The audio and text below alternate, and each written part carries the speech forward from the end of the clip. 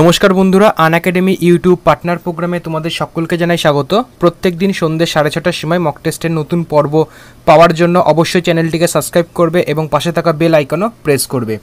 দেখে নাও আজকে নিয়ে প্রথম প্রশ্ন, ঋগ্বেদে হাতিকে কি বলা হতো? ঋগ্বেদে হাতিকে কি বলা হতো? তো প্রত্যেকটা প্রশ্নের অ্যান্সার করার জন্য তোমরা দুই থেকে পাঁচ সেকেন্ড করে টাইম পাবে, তারপর আমার দেওয়া অ্যান্সারের সাথে মিলিয়ে নেবে। এক্ষেত্রে যারা অপশন ডি ভাবছ, একদম কারেক্ট অ্যান্সার মৃগহস্তিনী বলা হতো ঋগ্বেদে হাতিদের। অপশন ডি একদম কারেক্ট অ্যান্সার দেখে নাও পরবর্তী প্রশ্ন। নন্দবংশের শেষ রাজার নাম কি? নন্দবংশের শেষ রাজার নাম কি? সঠিক অ্যান্সার তোমরা কমেন্টের মাধ্যমে আমাদের কাছে বলার চেষ্টা করো যে নন্দবংশের শেষ রাজার নাম কি। তো যারা অপশান এ বলছো, একদম কারেক্ট অ্যান্সার নন্দবংশের শেষ রাজার নাম হচ্ছে ধননন্দ। অপশানে একদম সঠিক উত্তর। দেখে নাও পরবর্তী প্রশ্ন। তীর্থঙ্কর কাদের বলা হতো? তীর্থঙ্কর কাদের বলা হতো? তো বন্ধুরা, এই প্রশ্নের সঠিক উত্তর তাড়াতাড়ি কমেন্টের মাধ্যমে তোমরা আমাদের কাছে বলার চেষ্টা করো যে তীর্থঙ্কর কাদের বলা হতো। সঠিক অ্যান্সার হয়ে যাবে, জৈনদের ধর্মগুরুকে তীর্থঙ্কর বলা হতো। অপশানে একদম কারেক্ট অ্যান্সার নেক্সট কোশ্চেন আর্যদের কোন দেবতাকে পুনন্দর বলা হতো? আর্যদের কোন দেবতাকে পুরন্দর বলা হতো? তো এই প্রশ্নের সঠিক উত্তর হয়ে যাবে, আর্যদের ইন্দ্র এই দেবতাকে পুরন্দর বলা হতো। অপশন সি, একদম কারেক্ট অ্যান্সার। দেখে নাও পরবর্তী প্রশ্ন, বিম্বিসার কোন উপাধি নেন? নিচের চারটে উপাধির ভেতর কোন উপাধি বিম্বিসার গ্রহণ করেছিলেন? তো বন্ধুরা, এই প্রশ্নের সঠিক উত্তর হবে বিম্বিসার এই শ্রেণিক উপাধিটি গ্রহণ করেছিলেন। অপশন ডি, একদম correct answer. Next question, SAIL এর চেয়ারম্যান কে? সেল এর বর্তমান চেয়ারম্যান পদে কে রয়েছেন? সঠিক অ্যান্সার হবে অনিল কুমার চৌধুরী, বর্তমানে সেল এর চেয়ারম্যান পদে রয়েছেন। অপশানে একদম কারেক্ট অ্যান্সার। দেখে নাও পরবর্তী প্রশ্ন, কোনটির মাধ্যমে এইচ আইভি টেস্ট করা হয়? নিচের দেওয়া চারটে অপশনের ভেতর কোনটির মাধ্যমে এইচ আইভি টেস্ট করা হয়ে থাকে।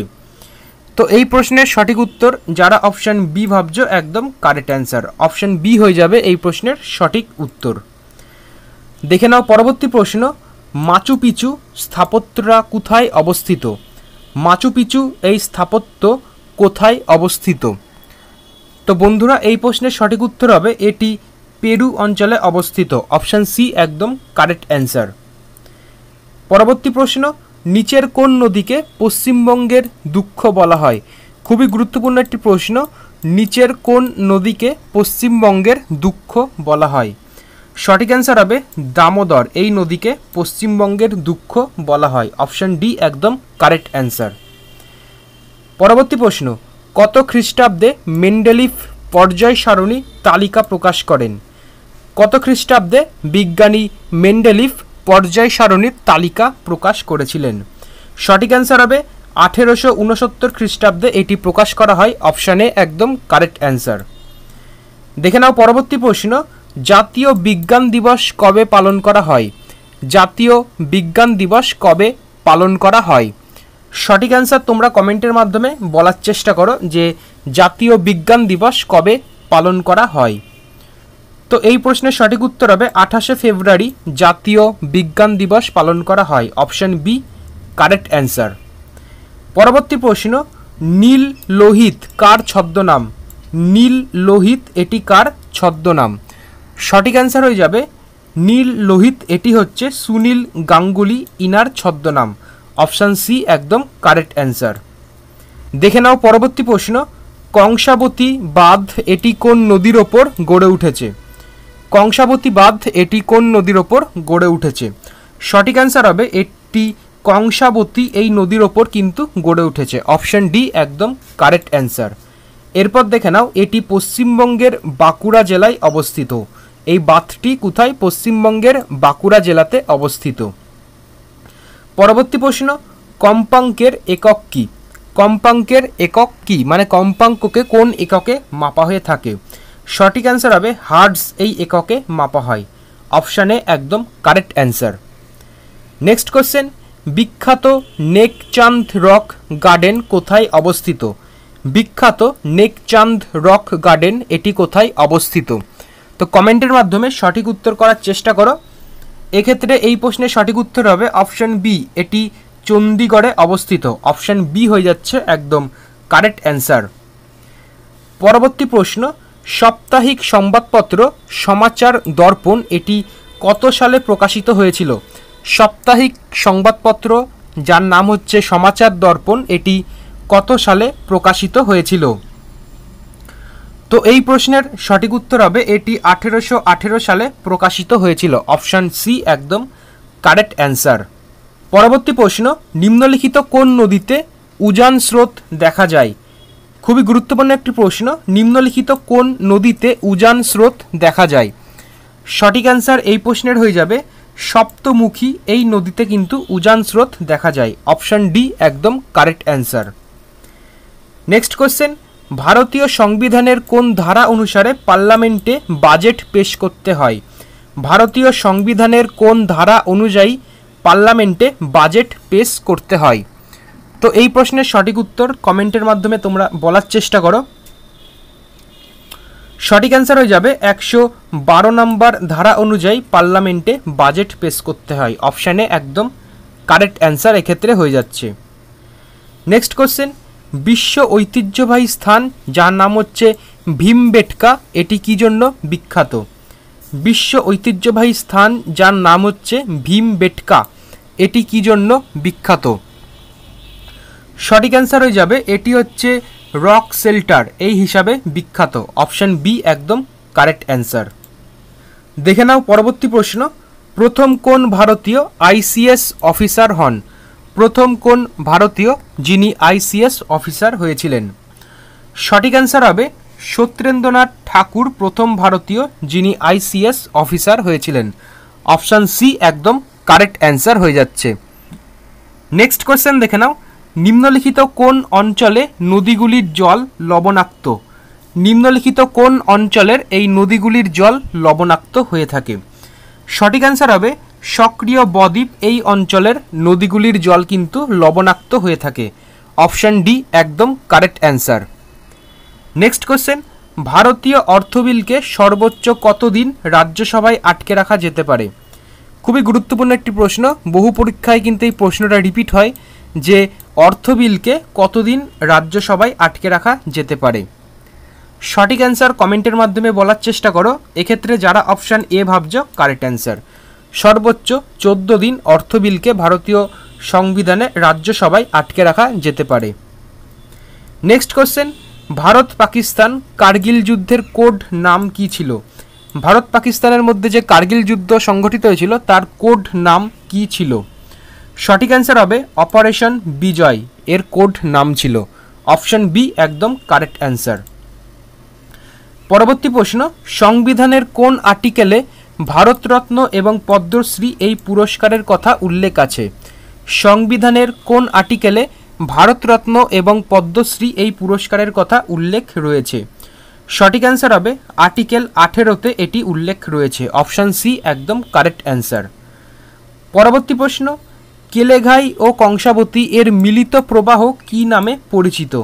কেলেঘাই এবং কংসাবতী এর মিলিত প্রবাহ কি নামে পরিচিত? তো বন্ধুরা, এই প্রশ্নের সঠিক উত্তর হবে, এটি হলদি নামে পরিচিত। অপশান ডি একদম কারেক্ট অ্যান্সার। নেক্সট কোয়েশ্চেন ভারতের পার্লামেন্টের সদস্য না হয়েও কোন ব্যক্তি পার্লামেন্টে বক্তৃতা দিতে পারেন? এটিও কিন্তু খুবই গুরুত্বপূর্ণ একটি প্রশ্ন। ভারতের পার্লামেন্টের সদস্য নয়, এদিকে কোন ব্যক্তি সেই পার্লামেন্টে বক্তৃতা দিতে পারেন? তো এই প্রশ্নের সঠিক উত্তর হয়ে যাবে, যারা অপশান এ বলছ, কারেক্ট অ্যান্সার। অ্যাটর্নি জেনারেল, ভারতের পার্লামেন্টের সদস্য না হয়েও কিন্তু পার্লামেন্টে বক্তৃতা দিতে পারেন। অপশানে একদম কারেক্ট অ্যান্সার। নেক্সট কোশ্চেন, ভারতের সবথেকে দীর্ঘ সীমানা কোন দেশের সাথে রয়েছে? ভারত এবং কোন দেশের মধ্যে সবথেকে দীর্ঘ সীমানা রয়েছে? তো এই প্রশ্নের সঠিক উত্তর হবে বাংলাদেশের সাথে রয়েছে। অপশান বি একদম কারেক্ট অ্যান্সার পরবর্তী প্রশ্ন, ওয়ার্ল্ড বায়োফুয়েল ডে কবে পালন করা হয়? ওয়ার্ল্ড বায়োফুয়েল ডে এটি কবে পালন করা হয়ে থাকে? সঠিক অ্যান্সার হবে দশই আগস্ট এটিকে পালন করা হয়ে থাকে। অপশন ডি একদম কারেক্ট অ্যান্সার হয়ে যাচ্ছে। নেক্সট কোশ্চেন বেসবল খেলায় কতজন খেলোয়াড় থাকে? বেসবল খেলায় কতজন খেলোয়াড় থাকে? তো যারা অপশন ডি ভাবছ, একদম কারেক্ট অ্যান্সার বেসবল খেলায় নয়জন খেলোয়াড় থাকে। অপশন ডি একদম কারেক্ট অ্যান্সার দেখে নাও আজকের লাস্ট প্রশ্ন, গ্রামী পুরস্কার কত সালে দেওয়া হয়? খুবই গুরুত্বপূর্ণ একটি প্রশ্ন, গ্রামী পুরস্কার প্রথম কত সালে দেওয়া শুরু হয়? সঠিক অ্যান্সার হবে উনিশশো উনষাট সালে এটি প্রথম দেওয়া শুরু হয়। অপশান এ একদম কারেক্ট অ্যান্সার হয়ে যাচ্ছে। তো বন্ধুরা, আজকের মতো এইটুকুনি। যদি ভিডিওটি ভালো লাগে, তাহলে অবশ্যই একটি লাইক করবে এবং তোমাদের সমস্ত বন্ধুদের মাঝেও ভিডিওটিকে শেয়ার করে দেবে। এবং আবার দেখা হবে পরবর্তী ভিডিওতে। জয় হিন্দ, ধন্যবাদ। Who should join Unacademy plus সত্যি তো আমরা আন একাডেমি প্লাসে জয়েন করব কেন? কারণ ওয়েস্ট বেঙ্গলের বেস্ট এডুকেটারের কাছে তোমরা এখানে পড়ার সুবিধা পেয়ে যাচ্ছ এবং তাদের গাইড পেয়ে যাবে। এখানে চলছে অনেক ব্যাচ, যেমন কি ডাব্লুবি টেট ডাব্লুবি এসআই মেনের ব্যাচ মিসলেনিয়াস পিএসসির মতো বড় বড় পরীক্ষার তোমরা প্রস্তুতি নিতে পারবে। এই আন একাডেমি প্লাসের মাধ্যমে। এছাড়াও আপকামিং ব্যাচ আসছে কত তারিখে? ষোলোই আগস্ট তোমরা সেখানে জয়েন করতে পারো। এছাড়াও পনেরোই আগস্ট নতুন একটি ব্যাচ আছে, সেই ব্যাচে তোমরা জয়েন করতে পারবে। এছাড়াও তোকে তেসরা আগস্ট থেকে তোমাদের একটি ব্যাচ চলছে, সেই ব্যাচে তোমরা জয়েন করতে পারবে। এছাড়াও তোমাদের কিন্তু পাঁচই জুলাই একটি ব্যাচ চলছে, সেই ব্যাচে তোমরা জয়েন করতে পারবে। এছাড়া পনেরোই জুলাই ব্যাচ চলছে, সেই ব্যাচটাতেও তোমরা জয়েন করতে পারো। আর আমরা এই আন একাডেমিতে অ্যাকচুয়ালি জয়েন করব কেন? প্লাস কী কী ফেসিলিটি পাবো সেটা ভালো করে একবার জেনে নেওয়া দরকার রয়েছে। দেখো পোলস চার্ট অপশান পেয়ে তোমরা। এরপরে হচ্ছে সেলফ অ্যানালিস্ট থট পোলসের অপশান পেয়ে যাচ্ছ। Know your rank every class অর্থাৎ তুমি পরীক্ষাটা দিলে, তারপরে কত র্যাঙ্ক করল ওয়েস্ট বেঙ্গলের মধ্যে দেখার সুবিধা পেয়ে যাবে। বেস্ট এডুকেটারের সাথে কিন্তু এগুলো তোমরা পেয়ে যাচ্ছ। Structure course of every educator পেয়ে যাচ্ছ। এছাড়াও কি তোমরা যেগুলো পাচ্ছ, দেখো যে ক্লিয়ারিং ক্লাসেস অর্থাৎ তোমার যতক্ষণ ডাউট থাকছে, সমস্ত ডাউট তোমার ক্লিয়ার করে দেওয়া হবে ক্লাসগুলোর মাধ্যমে। উইকলি কুইজ পেয়ে যাচ্ছ, তাছাড়াও তোমরা পেয়ে যাচ্ছ মেগা কুইজ পেয়ে যাচ্ছ, এই সমস্ত ফেসিলিটি পেয়ে যাচ্ছ তোমরা এই আনএকাডেমি প্লাস জয়েন করলে। দেখো, এবার যদি আমার তোমার রেফারেল কোড ইউজ করো টেন পার্সেন্ট ডিসকাউন্ট পেয়ে যাবে। ডিসক্রিপশন তো অবশ্যই লিঙ্ক দেওয়া থাকবে লিঙ্কটা ফলো করতে পারো। টিডি টেন লেখা থাকবে, দেখবা ডিসকাউন্ট কোড ঠিক আছে, আমি তোমাদের বলব, দেখো, কোনো সময় এক মাস বা তিন মাসের জন্য তোমার সাবস্ক্রিপশন নিবা না তো অনেকটা পয়সা টাকা তোমাদের বেশি যাবে। আমি তোমাদের বলব, বারো মাসের অন্তর নেওয়ার চেষ্টা করো। বারো মাসে নিলে তোমার দেখো লেখা আছে সাত হাজার টাকা, সেখানে যদি টেন পার্সেন্ট ডিসকাউন্ট পেয়ে সাতশো টাকা কমে যাবে। সামথিং পাঁচশো টাকা করে মাসে তোমাদের পড়বে। আর জয়েন করলে সমস্ত সুবিধা তোমরা আনএকাডেমি প্লাস থেকে পেয়ে যাবে। আশা করি সমস্ত তথ্য তোমায় বোঝাতে পেরেছি কেন আনএকাডেমি প্লাসে তোমরা জয়েন করবে। তো ডিসক্রিপশনে লিঙ্কটা তোমরা ফলো করতে পারো।